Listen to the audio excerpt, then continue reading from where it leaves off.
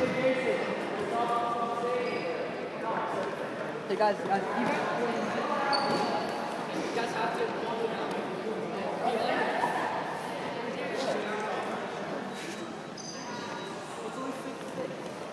Whoa, they have some.